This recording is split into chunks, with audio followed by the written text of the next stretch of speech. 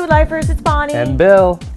Bill, we got to talk about Taylor Swift breaking up with Harry Styles. Like, after one fight, I just think it's ridiculous that she stormed off. If she was not super rich, she would have had to stay on the vacation with him. She couldn't have afforded to just hop on some private plane and leave. I agree that she's being immature, but I also think it's pretty indicative of the fact that this is a PR romance. From the start, she's just bailing. They got so much notoriety out of their relationship, and the news came on the same day as One Direction's Kiss You video dropped. You mean the news about the breakup? So Yeah. you are accusing Taylor and Harry of having a showmance?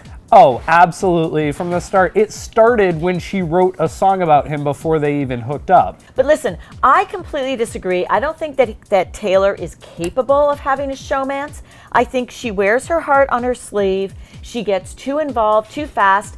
But I think that if this if she was not a celebrity and a normal person, she would have had to stay on the vacation because you can't just like run off and leave. She would have had to stay. They would have ended up not talking for a few hours and then making up. It just seems a little too convenient that this happened just as she's in her album cycle for Red. He's got the big new One Direction tour coming up. I think it reeks of celebrity insidery showmance. It's not coincidental, but it is because they they're under so much pressure. If that's the case, then my question is if she knew he was trouble, why did she go into it in the first place? She should have known that he was trouble. Well, I think from his perspective, she's trouble, and I bet we're going to see at least two albums worth of songs about this. It'll never end.